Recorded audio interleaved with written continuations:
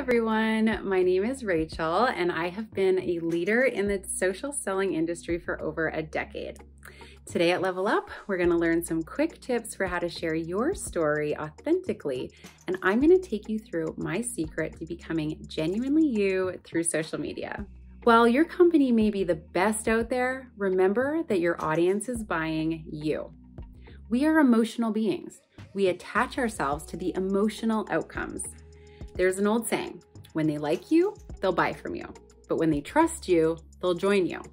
If you're wanting to grow your business and create momentum, resulting in traction, you're gonna want a little or a lot of both, people buying and joining.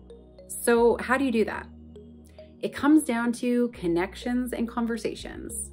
Your network needs to feel like they know you like you're the friend they want to join, or they trust you enough at least to purchase your products or your service.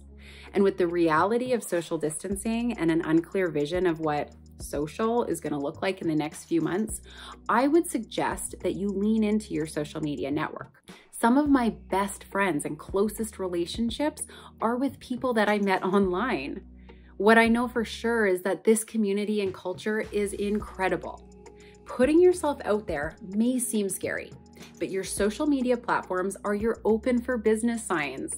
You don't want to center your platform around your business, but rather use it as a tool to grow, both personally and professionally.